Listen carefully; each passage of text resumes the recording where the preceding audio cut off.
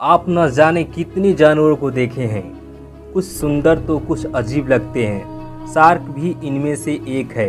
Shark एक मछली है, जिससे सबको डर लगता है, क्योंकि टीवी और कहानियों में हमें शार्क को इसी रूप में देखा गया है। लेकिन वास्तव में इतनी बुरी भी नहीं है, वो हमेशा हमलावर नहीं होती कई तरह की शार्क होती हैं, जैसे सफ़ेद शार्क, हथौड़ों जैसे सिर वाली शार्क टाइगर शार्क और मैको शार्क। शार्क के शरीर में एक भी हड्डी नहीं होती। शार्क के कंकाल आम हड्डियों के नहीं बने होते हैं। उनके कंकाल कार्टिलेज के बने होते हैं, जो बेहद नरम और लचीले हड्डियों वाले होते हैं। ठीक वैसे ही नरम हड्डियाँ, जो हमारे कान और नाक में होती हैं। ऐसे ही अमेजिंग फैक्ट के लिए मेरे चैनल को सब्सक्राइब करना ना भूलें।